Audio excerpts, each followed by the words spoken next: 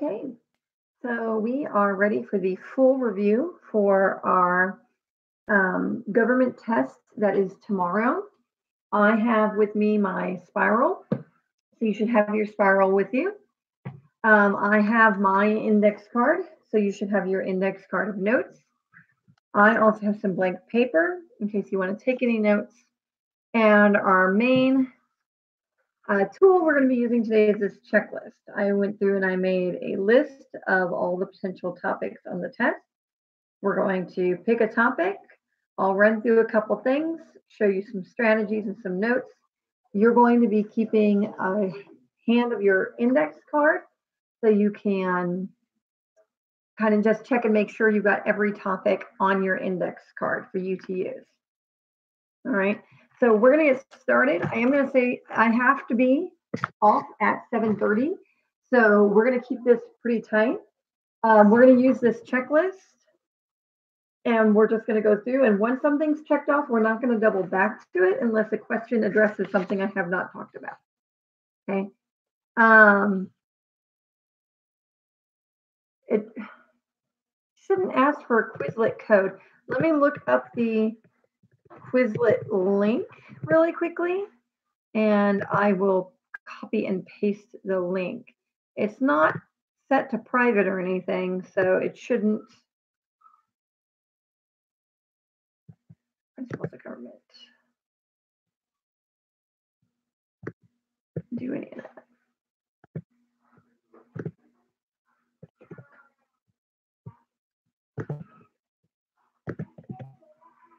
Okay, there, I posted the link in the live chat. If you are trying to watch this later, there is a Quizlet. The title of the Quizlet is Seven Principles of Government. And it is under the created by the user Amy underscore Foster Munoz. So make sure you're looking for the one made by that user because there's a bunch of them out there. Okay.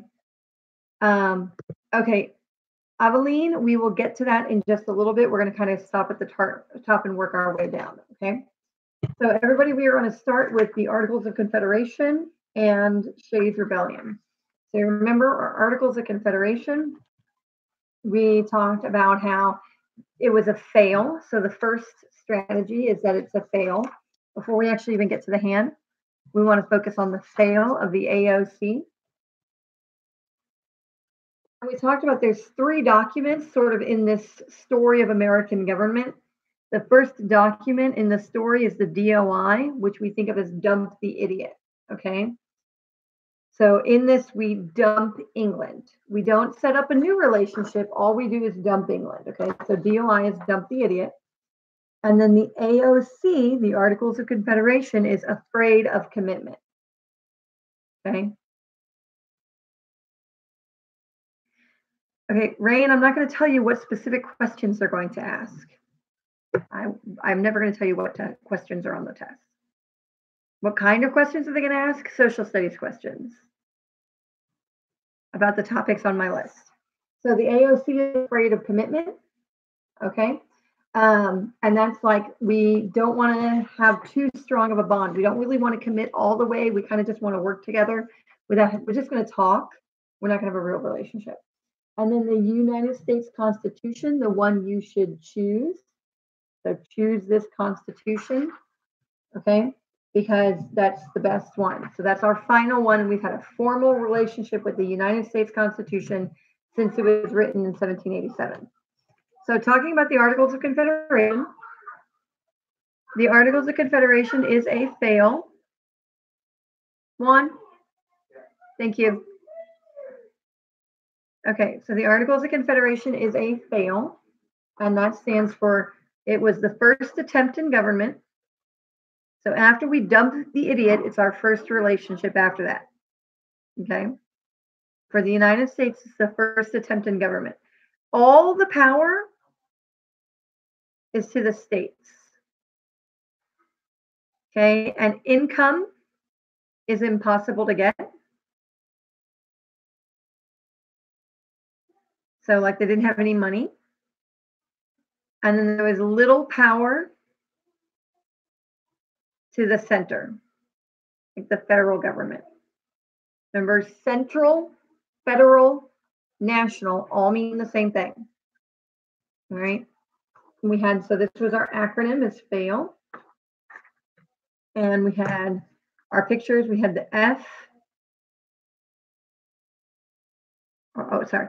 There's um, the G and there's the one in the G. So like it's the first government.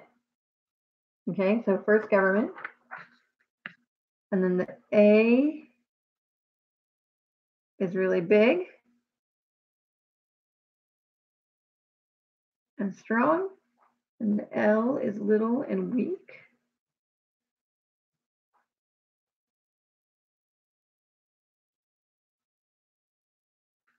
So you see there's a big A and it's states and they're really big and strong. And then the central is small and weak.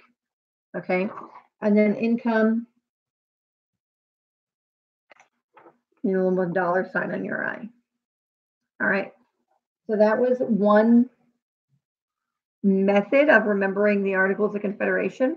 The second method we talked about was the hand. And this is the five weaknesses. Okay. And there's the five weaknesses. So the first weakness was we talked about was the pinky. Remember the pinky was pink. Okay. So it was a weak central government. Your pinky is kind of a weak finger. It's a weak central government. Okay. And then the ring finger, when we did this like yellow for gold. Okay. So yellow for gold. And that's because there was no money because they couldn't tax. So they had no money. Okay. Yes, ring. That's where. Yeah. So then they had no money. So that's where you wear your ring finger. That's made out of gold. So they had no money. Okay. And then, and y'all really will. Yeah. So and then this one. See, this is in the middle. So it's like the border. So we did it green, and that was our border disputes. Okay. This this state and this state are fighting over where the border is going to go. Okay, does that tree belong to Connecticut? Or does that tree belong to Rhode Island? Let's fight about it. Okay, so they were arguing with each other. The states are all fighting with each other. Okay, about where the border should go. So again, weak, no money, border fights. Okay, and then we did red. I remember that's our blaming finger. So the states were blaming each other. It's your fault. It's your fault. Um, uh, Maryland would go to New York and say, "Oh, it's your fault because um, you're taking up all the money to build New York City," and uh, Virginia would say, "Oh, it's Massachusetts' fault because they they're really poor right now, and everybody's just blaming each other." Okay.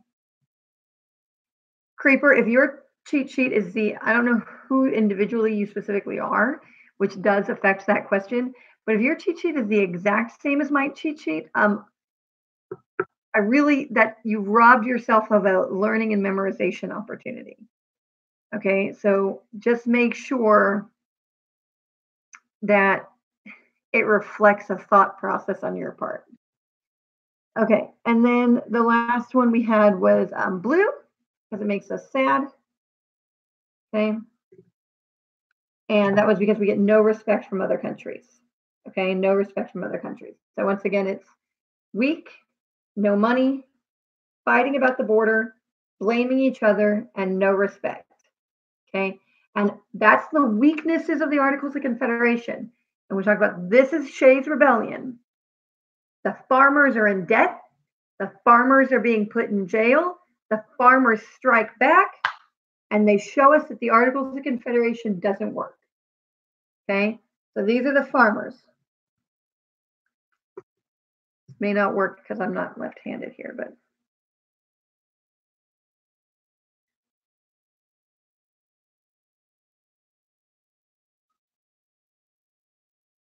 okay. So there's the farm, okay? Articles of Confederation and Shays Rebellion. It's Shays Rebellion. He's a farmer. Going to knock down the AOC. Okay. So, and that's really all you need to remember with Shays Rebellion is it's a group of farmers. They're in debt. They have no money. They're being put in jail. They rise up against the government and they show everybody that the Articles of Confederation doesn't work. It's too weak. So they call a big meeting. Okay. So that gets us off of like, where's my checklist? Now, I will say, Creeper, if you use my checklist as like, like you just make sure that you have all these titles, and if yours looks similar to mine, I understand that. I just want to make sure you're not robbing yourself of an opportunity to practice this information because you need this information for more than just this test. Um, you have a DPM in a week and a half. You've got a STAR test at the end of the year. You can't use an index card on those. So just keep that in mind. So we just talked about the Articles of Confederation and the um, Shays Rebellion. So check mark that. Okay. So uh, Rain is going to think about Shay's butter. Shay's butter. Shay Shay has a better idea. Um, Shay's Rebellion. Um, whatever makes whatever helps you remember it. Okay. Northwest Ordinance. Let's talk about the Northwest Ordinance for a minute. So the Northwest Ordinance is a little weird and it tends to throw kids off because it doesn't go in with the rest of the story, right? Because this is our story. The DOI, where we dump England, then our first attempt at a government, okay, an attempt at a constitution, and then we finally get the the one you should choose, the U.S. Constitution, okay.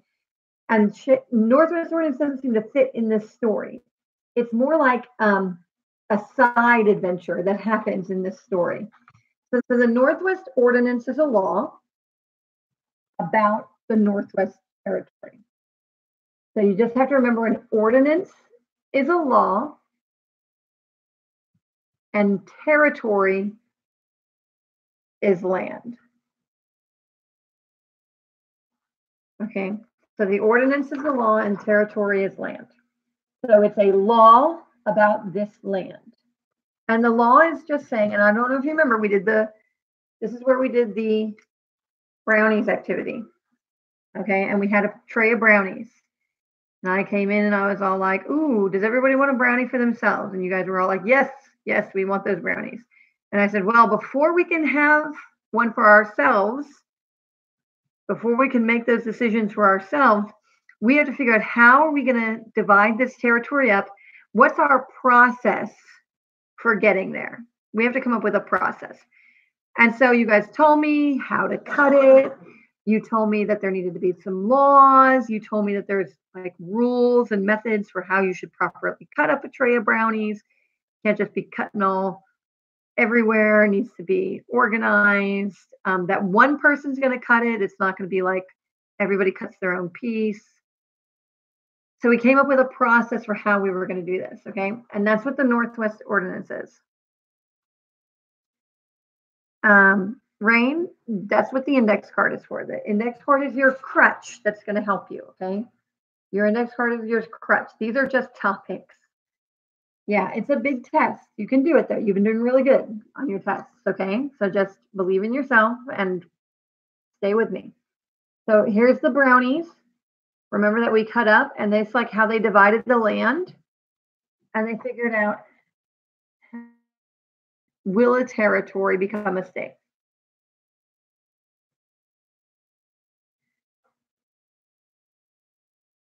How will a territory become a state? That's the question that this is going to answer. Well, we're going to divide it up and we're going to give them some checkpoints so that they can have self government. They have to have 60,000 people. They have to have a governor. Um, and they have to write a constitution. The constitution is their laws. Okay. So I'm going to be honest. I'm just going to show you the Northwest Ordinance does not take up a lot of space on this.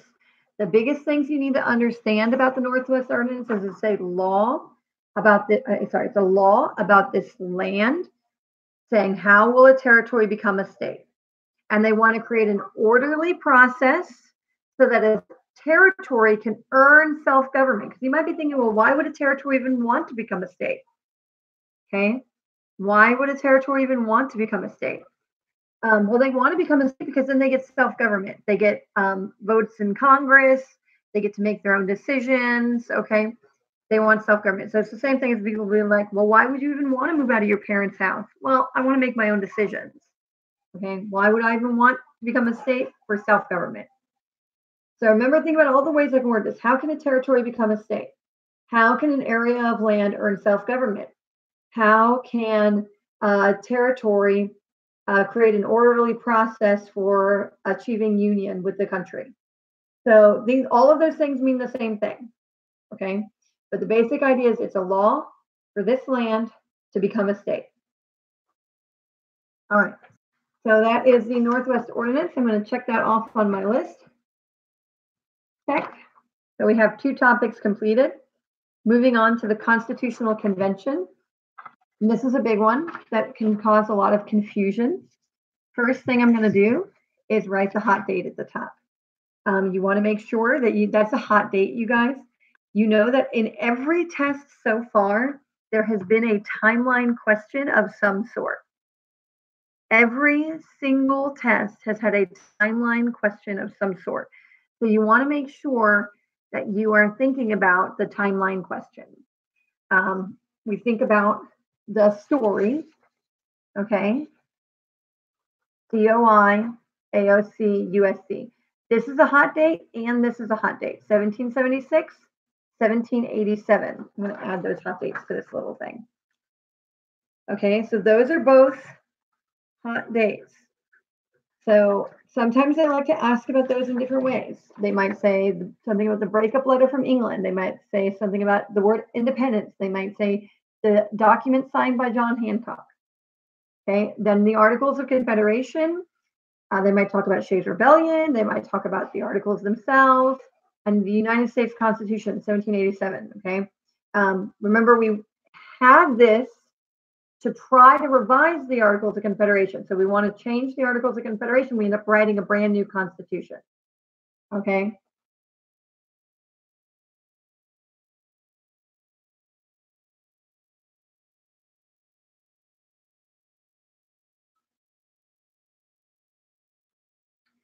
Yeah, right. It's kind of the same, but um, uh, yeah. So like we got to become a country, and now these little territories or areas, this land wants to have become a state, so they can sort of go in that same level of process.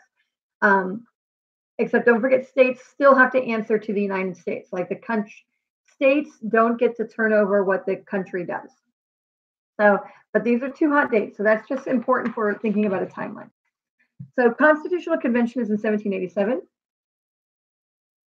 And this anchor chart that's been up in the back of the room for um, over a week now.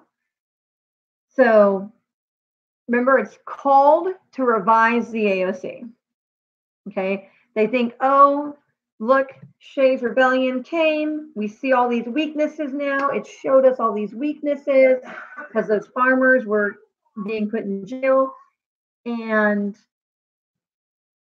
so let's get together. Let's have a meeting. We're just going to change the Articles of Confederation. Let's just fix these weaknesses.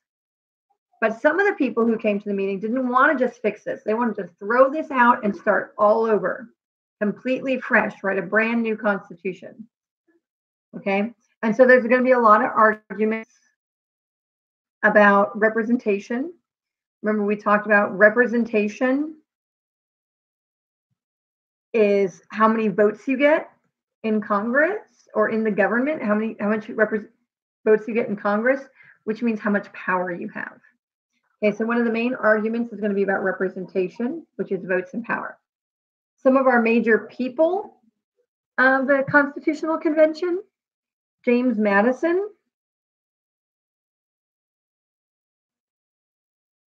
who's going to become the father of the Constitution,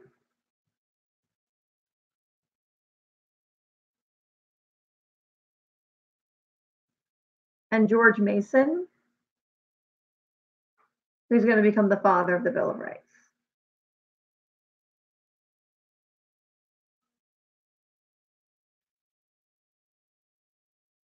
Okay. And that's just sort of the basics about the convention itself. It's called to revise the AOC. It one of the major arguments is about representation.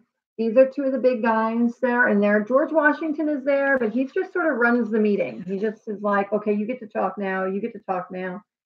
Okay. Um, and they're faced with a difficult task because they want to write something that can change with time, but still works um, for the time period in which it's being written. Because they understand that the country is going to grow and change, and the Constitution needs to be able to change with it. So they're writing this and they have a couple big arguments about representation. And the first one, and I just want to kind of show you in terms of how much space I spent on each one. So um, the information about the Constitutional Convention is in my little square. And then this is the two compromises we're going to be talking about. So that takes up a pretty good chunk of space. So the first compromise we're going to talk about is the really big one that people get really confused about. Okay, and it is the Great Compromise. And we taught, taught y'all GC equals GC. The Great Compromise gets us Congress. Okay, or great, I, would love that you students actually turn it into Great Compromise, Great Congress. Okay.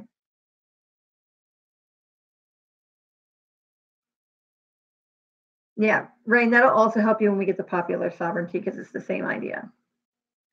So great compromise, get Congress.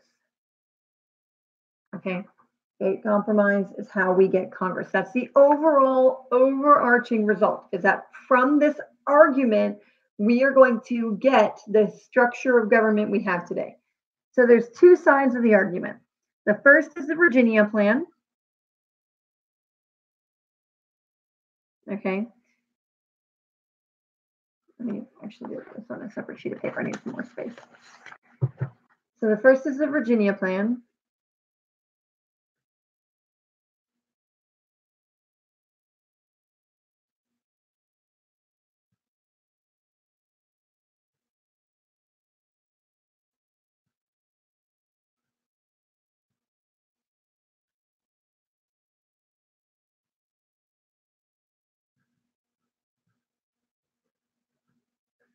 Okay, and the Virginia plan is large states. They want proportional representation based on population.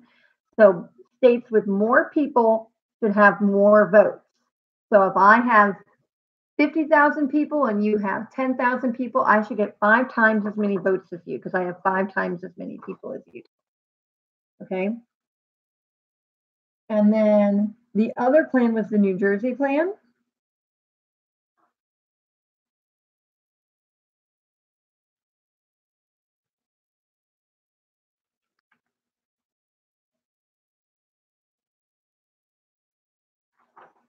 Okay. And the New Jersey plan is about small states like this plan, and they want equal representation. Okay, so these are the two sides of the argument. Big states should have more votes. Everyone should have the same amount of votes. No, big states should have more. Everyone should have the same. Okay, and we did the whole M&M exercise with this to kind of demonstrate how if one table group has four people and one table group has two people, if I give both of you t- a bag with 10 M&Ms, the group that has only two people at it, they get five M&Ms each. Whereas the group that has four at it, they only get like two and a half M&Ms each. So that's why there's this argument going on. We want it to be based proportional and we want it to be equal. So they have to come up with a compromise. They have to get past this argument that's about representation. So they come up with the Great Compromise, and the Great Compromise gets us Congress. And what we had you tape in your spiral was that little house.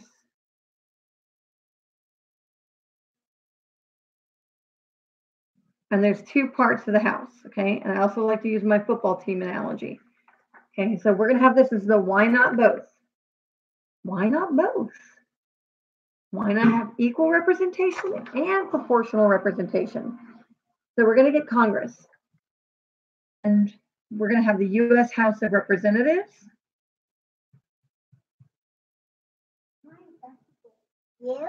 I'm talking to the computer, honey, my students. Okay. I talk to you. Go back to daddy. Okay and the U.S. Senate. All right. So you get the U.S. House of Representatives and the U.S. Senate are the two parts of Congress. Okay. And the U.S. House of Representatives is based on proportional population. So there's 435 people currently in the U.S. House of Representatives, and it's based on how many population. So Alaska has one, Texas has 36, and California's got 53. So it's a lot. And then New Jersey has equal. So Alaska has two, Texas has two, California has two, everybody's got the same. These are the two halves of Congress as part of the plan. Okay. Okay. Um, what happens if they break the rule? Well, they're in violation of the Constitution. They, they, I don't think there's a way for them to break the rules. Um, if a state tried to send more people than they were supposed to send, they would just be stopped by the police or the military. I don't know. No one's ever tried to do that. Everyone's just followed the rules of the Constitution so far, which is why we've had the same Constitution for from 1787 all the way to 2019. We've been served by the same Constitution for over 200 years. We're the longest running Constitution in the world. So um, that's why this is so important. Okay, Rain, let's not let's stay focused on on this and then we can have a conversation later if you want to, okay? So this is the great compromise. Okay, it's how we get Congress. And remember the great compromise is a question, it's an argument about representation. It's an argument about representation, okay? All right. So the second compromise that needs to be on your notes the second compromise that needs to be on your notes is the three fifths compromise. Okay.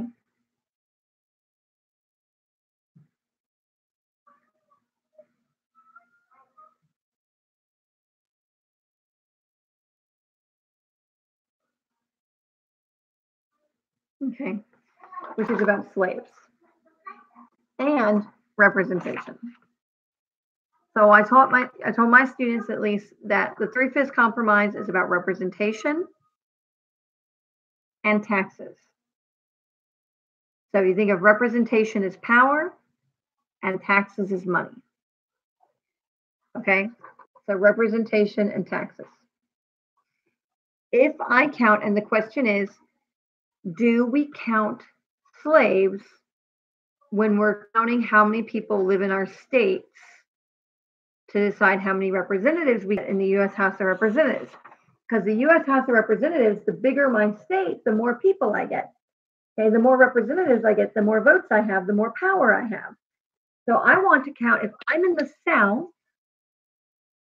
Okay, so if I count my slaves, my power is going to go up. Okay. And if I count them for taxes, then the amount of money I have is going to go up. Okay. So the North's argument, what the North wanted is we don't want the South's power to go up. So we don't want to do this, but we do want the South to pay more money. So let's say no to this and yes to this. And the South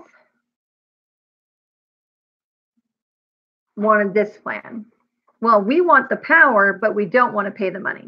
So basically, what you're seeing is the North and the South are facing off on this question about representation and taxes and how do we count slaves. It all comes back to slaves. Okay.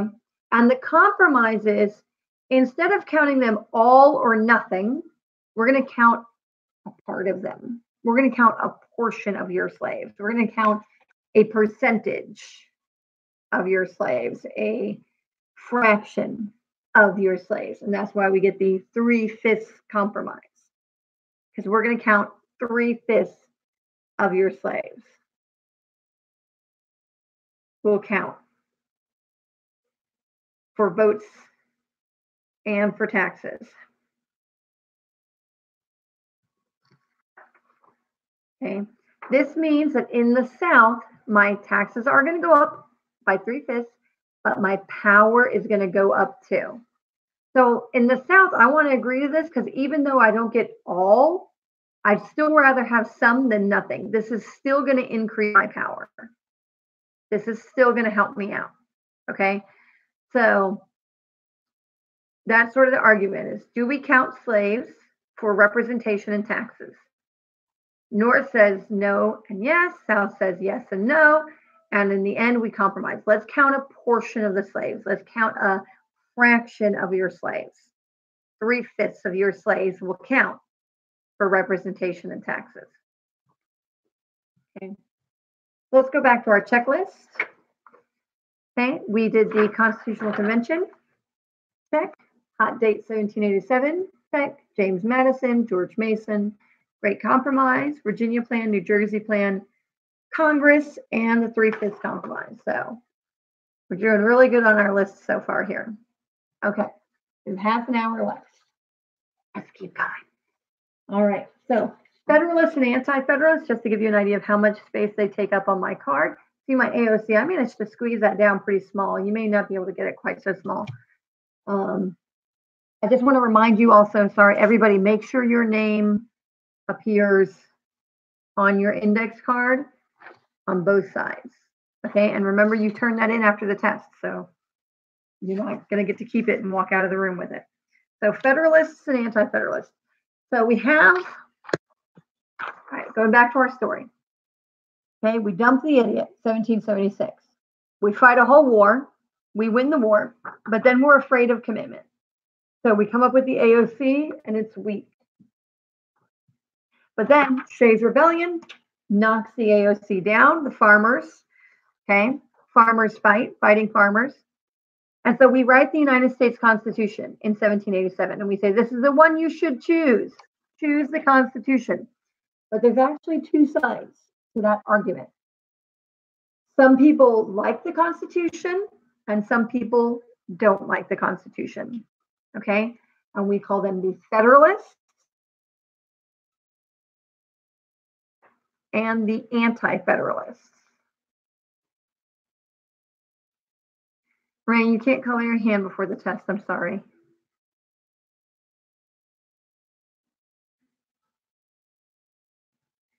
You can color the hand that is on your index card. That's fine. If you put a hand on your index card, you can color that. So Federalists and Anti-Federalists. Now I told y'all that my four-year-old has a shark named Shark and a bear named Bear, right? And the Federalists like the federal government, and the Anti-Federalists are against it because they don't have very um, they don't have very creative ways of naming things. Okay, so the Federalists are all like, we love the federal government. What should we call ourselves? How about the Federalists? And the Anti Federalists are all like, we don't like those guys. What should we call ourselves? Well, let's call ourselves the Anti Federalists. So on the Federalist side, you have James Madison, Alexander Hamilton, and John Jay.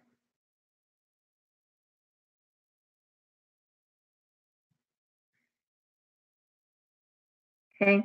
On they like the federal government. And remember again, federal equals central equals national. That is all the same thing. Okay. They're not going to ask you, do the federalists like the federal government? That's too easy. They'll ask you, do the federalists like the central government or do the federalists like the national government? Okay. So federalist, national, and central all mean the same thing. So they like the federal government. They like the Constitution. Okay, they want to pass it. They do not like the Bill of Rights.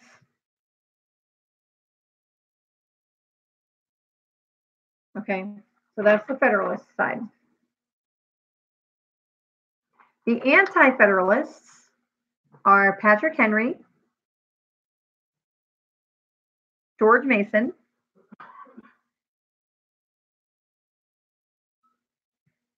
and Thomas Jefferson.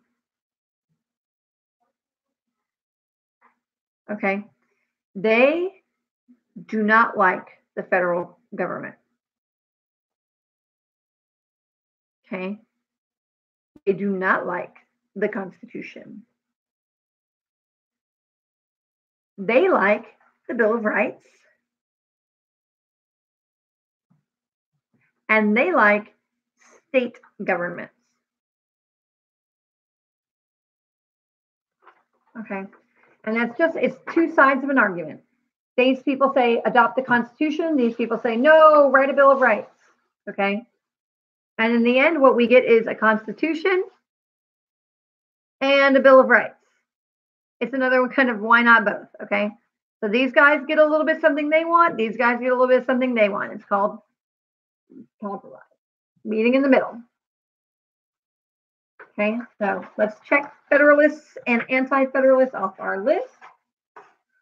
Um, George Washington's big thing was not taking sides. He didn't. He supported the Constitution and he thought that we should adopt it, but he would not take sides in this argument. He would not declare himself a Federalist or an Anti-Federalist. He believed that he had a, a duty to the country to be a uniting factor and not a dividing factor. So he's kind of an interesting guy. We don't talk about him right now. We're going to talk about him after Christmas break. We're going to spend like three weeks just talking about George Washington. I think it's really two. But um, right now, he's just sort of hanging out, being a part of it, there to do his job, but he's not really taking sides. He is president of the convention, but he mostly is just like, now it's your turn to talk. You're done talking. Now it's your turn to talk. Okay, let's vote. How many of for it?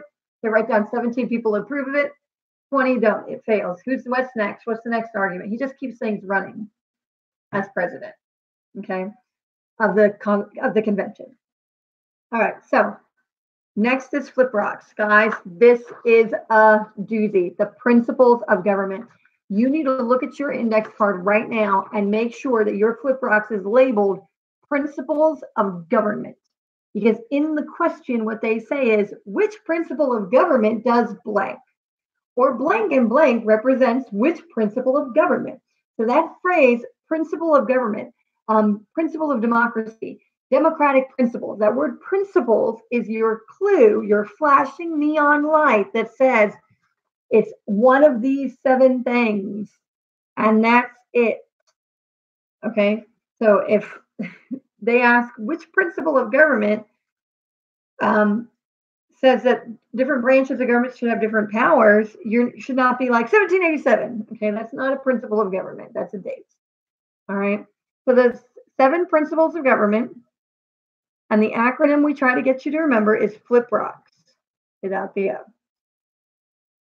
Okay, so FLIP RCS. Okay, FLIP RCS. The first one is federalism. And our image for federalism is the triangle and without a K. That's true. We got some kind of spelling geniuses up in here, remembering rock is spelled with a K. All right. And that talks about how the federal government is on top, the state government is in the middle, and then the local government. Okay. And there's two things to remember about this. This is most related to Amendment 10 from your mini constitution. And it's the only one that talks about states.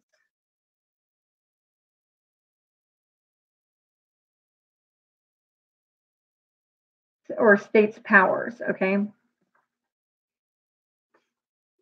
Um, so it's the only one that talks about states' powers. So federalism, it's the triangle, federal, state, and local. You guys, if you just remember federalism, you write federal, state, and local. You're not going to write state on any of these other ones, not a single one of them. So then you need to just keep that in mind that that little triangle goes with federalism. Okay. Our next one, the L, is limited government. You guys have a pretty good handle on this one generally because you've talked about it in sixth grade and you've talked about it in seventh grade, and we're talking about it again in eighth grade. It just means that the um, ruler, whoever's in charge, in our case, the president, is not all powerful. Government has to follow the rules. And in this case, the rules is the Constitution, the United States Constitution, not the state constitutions, the United States Constitution. It is the final authority, the supreme law. Okay. So the phrase final authority is the same as supreme law.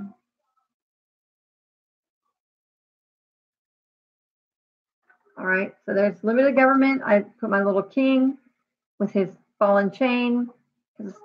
ties back to the Magna Carta. Uh, so government has to follow the laws. The laws is the Constitution, which is the um, final authority or the supreme law of the land. Okay. That is why, guys, and I say this all the time, that is why when the president is sworn into office and he's standing in front of the nation and he puts his hand on the Bible, um, and he swears an oath of office, what he swears is not to protect the people, not to protect the country, not to protect the government. He swears to protect the Constitution. That's what he swears to protect. Final authority in the land, United States Constitution. Okay. Um, the next one is individual rights. And for that one, we drew our alien. Okay, our alien. Remember, we had our little alien dude from the Declaration of Independence. His name is LLP. But now our alien is also holding a piece of paper that has a 1 through a 10, because that's the Bill of Rights. Okay. So individual rights is the unalienable rights and the Bill of Rights. Life, liberty, and the pursuit of happiness. The unalienable rights and the Bill of Rights. Individual rights. Popular sovereignty is the next one.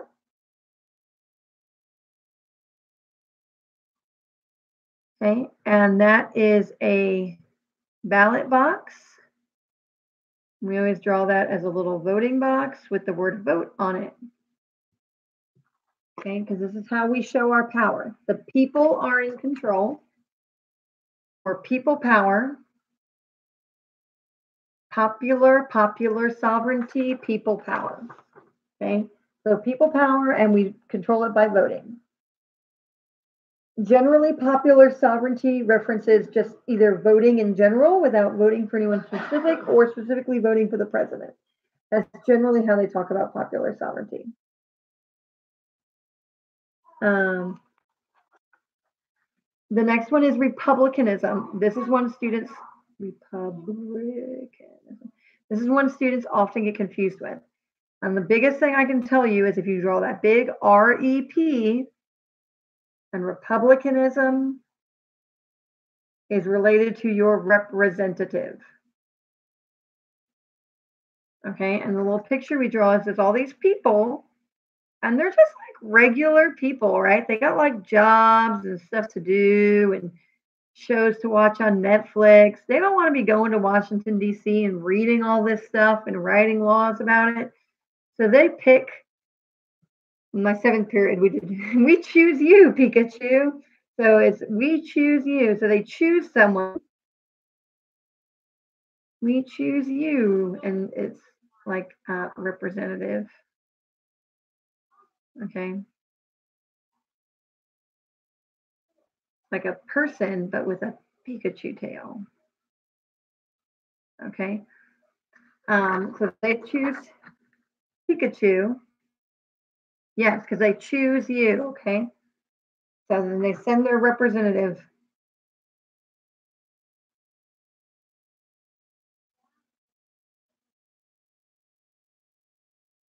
Okay, so they send their representative. So again, this is one of the easiest things, okay? So if you're a very like word person, this will help really quick. Just rep and republicanism and representative, okay? But then you're not a word person, you got all these people and they're choosing their Pikachu representative. We choose you, okay, to go to Washington and make laws. So I'm going to go make those laws for you. I'm going to go make those laws for you. We choose you and we send you to go. Okay, um, next one is checks and balances. And I'm going to talk about checks and balances and separation of powers at the same time. And there's a reason for that both checks and balances and separation of powers deal with the three branches of government.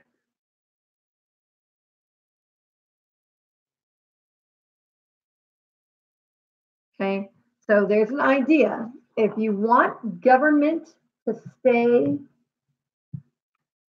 stop, to not get too powerful, because remember, these are a group of people who are afraid, not afraid, but they don't want to have a tyrannical government. They don't want to have a tyrant in power again. So they think, how can we set up a government that keeps itself under control? Where one part of the government keeps another part of the government from getting too powerful. So we're going to make sure that one part of the government is keeping another part of the government under control. And that's based on the three branches of government. So the first thing you have to know is that there are three branches of government because it really gels. Okay. Our government really gels. The first one is judicial.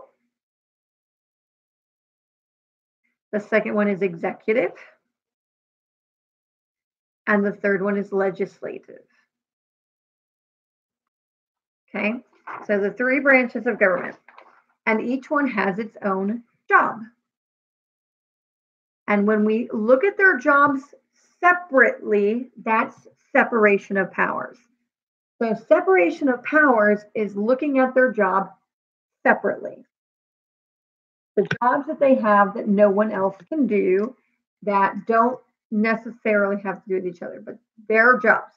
So, the judicial branch's main job is to interpret, the executive job is to enforce, and the legislative is to write and pass laws. Okay. So interprets, enforces, and laws. And notice the E L line up. Not so much with the J. So a J is kind of like an I. They look a little bit similar. Okay. Enforce means to um, make sure that people are doing it. So the police enforce the speed limit by pulling you over and giving you tickets. If the police choose to ignore everyone who's speeding, then nobody's really going to pay any attention to the laws. So there has to be someone there to enforce it. So the executive branch is actually in charge of enforcing the laws.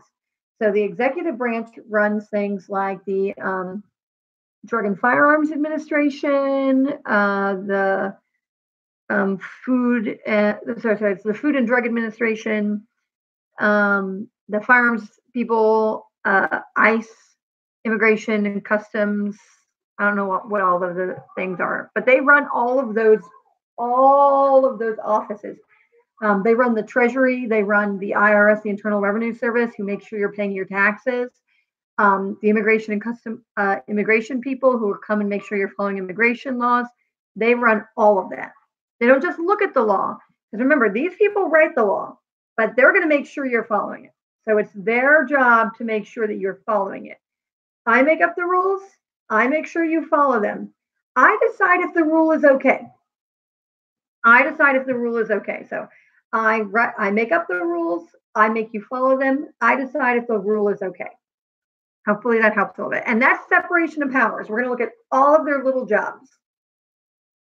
Okay. And in general, we encourage you to write separation of powers as three separate little columns J, E, L. Okay.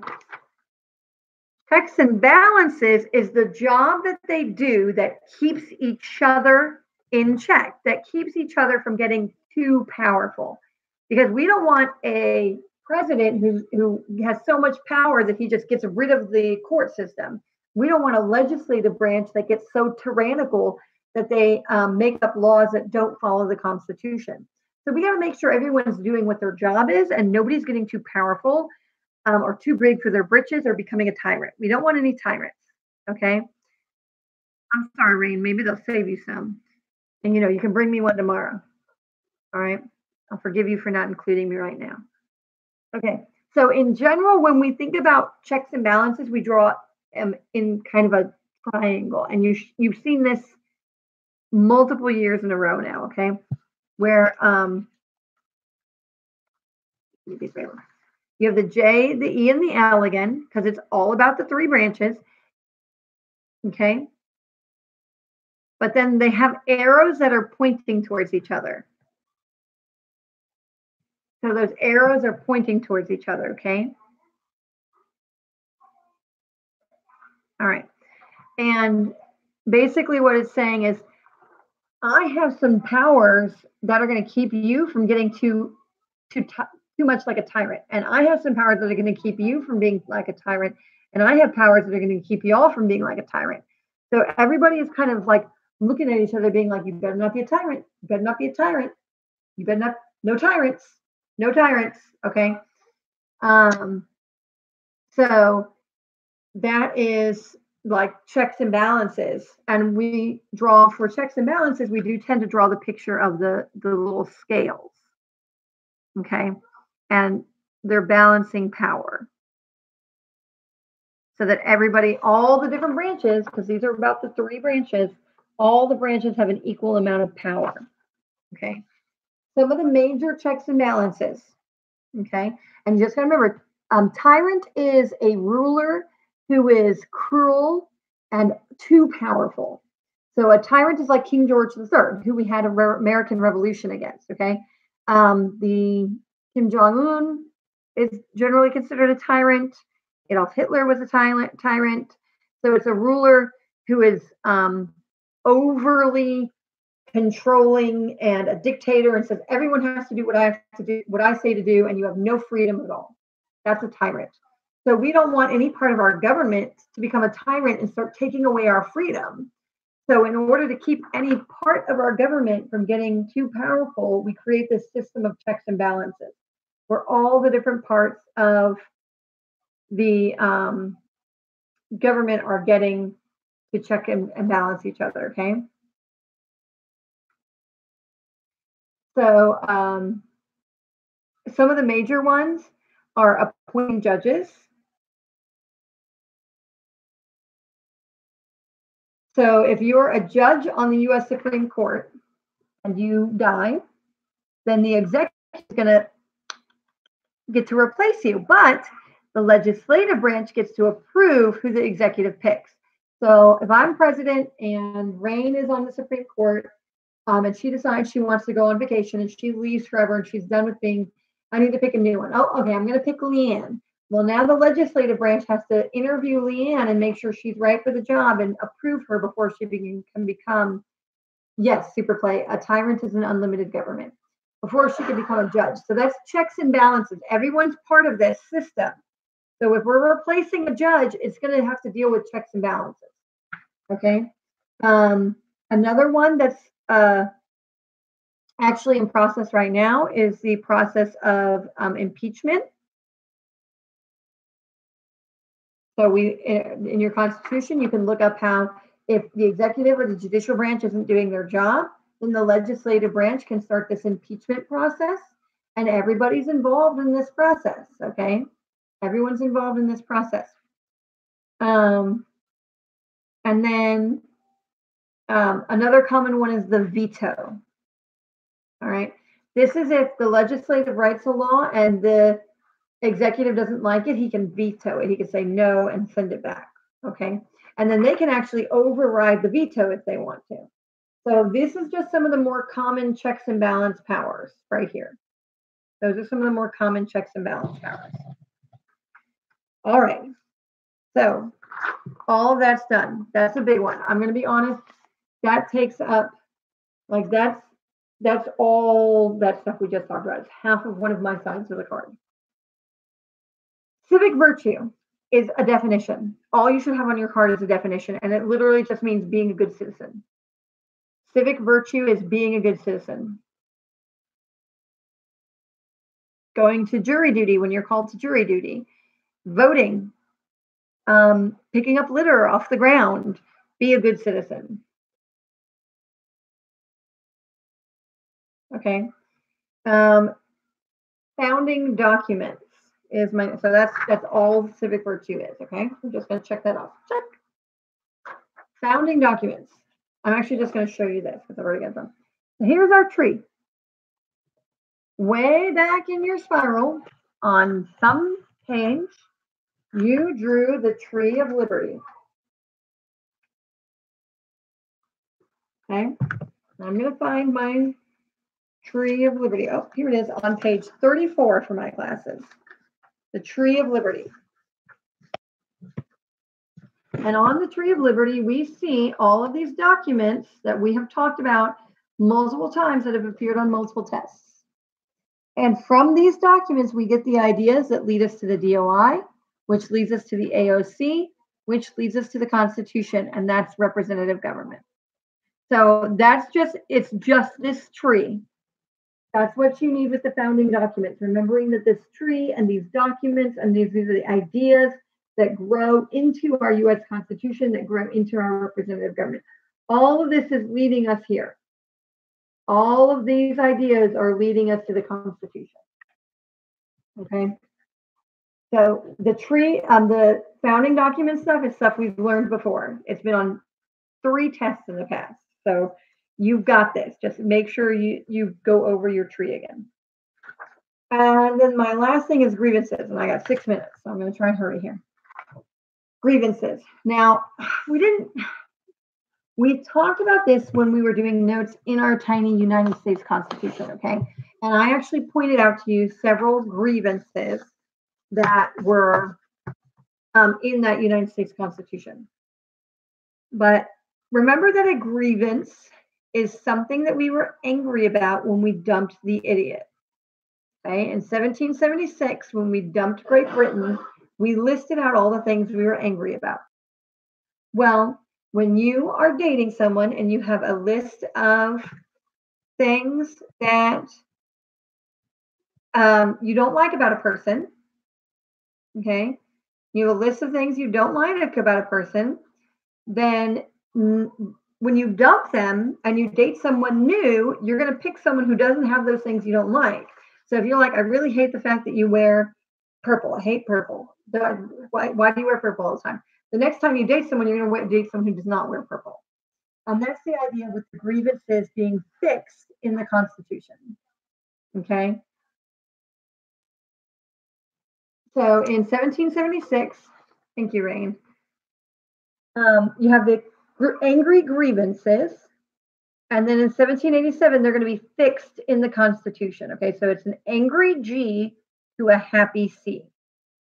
All right, and um, that I think I actually put that image on my card. Yeah. Okay, and so just um, angry G to a happy C. And some of the major grievances were taxation without representation,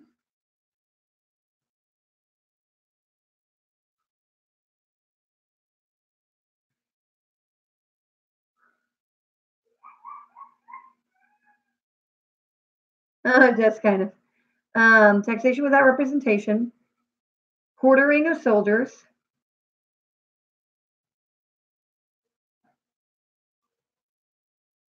and um, oh, unfair trials. Okay. And we're going to fix these things. And how do we fix them? Well, we fix taxation without representation by giving Congress the power to tax.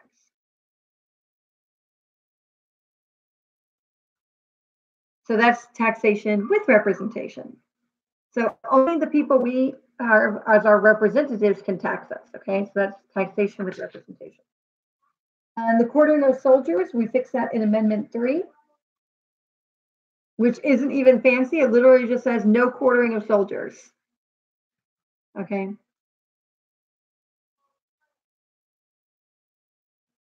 And amendments five, six, and seven are all about fair trials. All about fair trials. So we, all these things we're angry about, we fix in the Constitution. So all these things we're angry about, we fix in the Constitution. All right. Guys, I have literally two minutes. We have finished our checklist. I'm going to show that to you one more time. Make sure that you have on your index card everything that appears on this checklist. Okay, so this checklist is the things that should be on your index card. These are all the topics that we cover on the test. Okay, and you guys copying my stuff isn't you just want to make sure you understand what you're copying. Because we're not going to necessarily use you guys know in the test the wording isn't going to be the exact same. I might write federal on my card but then the test is going to use the word central or the word national. I might word use the phrase taxation without representation but then the test might be all like um, levying taxes without um, congressional uh, representation. So they add words, they make things sound different. So when you're writing what you're writing on your index card, make sure you're really thinking about what does it mean? What other words might they use to make the sound fancier? Okay. Ordinance is the law. Take the land and turn it into a state. All right. Um, remember, national, central, and federal are all the same thing. Uh, look over your test that we took last week. Okay, see what you got wrong. Make sure you're prepared to not get it wrong on the test tomorrow. Okay, and it is 7.30, so I have to go. We have been on for an hour. Feel free to review the um, video at your leisure. Use your strategies tomorrow. Make sure your index card is ready to go and that you can read it.